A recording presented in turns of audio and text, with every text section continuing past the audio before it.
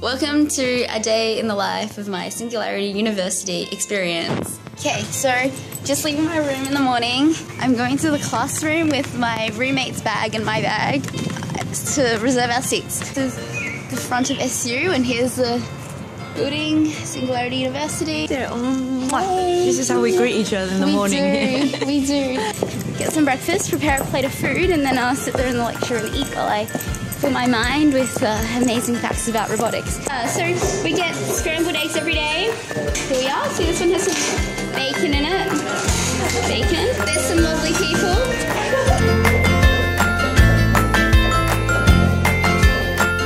So here I am. I'm actually in this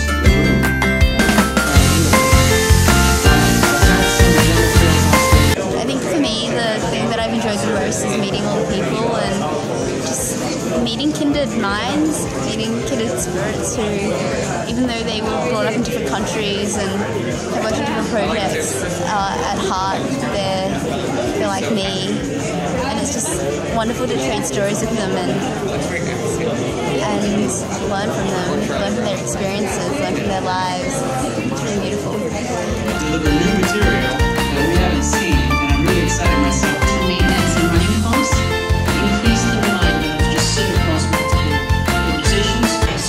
So, so we're gonna have a nap because uh, it's really intense to be up till four or five o'clock each night.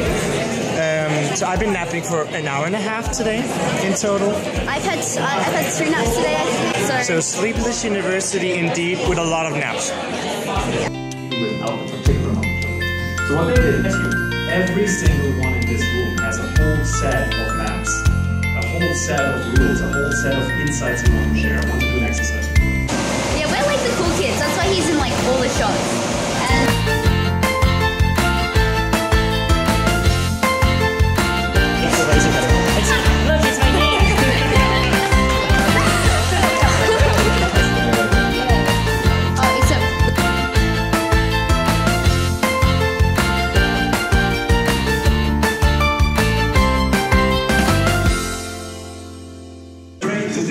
The exponential growth. Already today, we have computers that are the size of a grain of rice. hi. So we're at dinner now, um, and these are my friends. Round wave.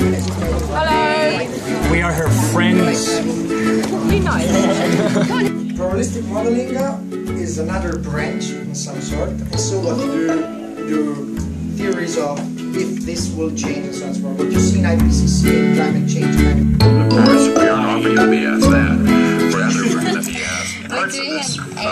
some course. words that we've seen before. Um, so that we can And we have to figure like out be way which ahead of everyone words else when Peter in Norvig this article correspond to which words in the translation And yeah. Peter Norvig's And like we a do gun that algorithms. by examining very many, for many Hi, so now it's like 12:20 a.m., which is 5:20 a.m. in Melbourne, and so I'm skyping in with my team back home in Melbourne, um, and they're putting a robot together, uh, which is really fun and really exciting. What about all the stuff in in development? How's all that going?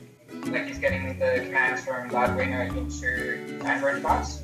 So it's 2:10 a.m. and I finished my team meeting and I'm gonna head out and see who else is around. This is what the room looks like at um 2:30 a.m. Yeah, people are still hardcore. people are still partying. and exponential. I know I, could, I would keep talking to them.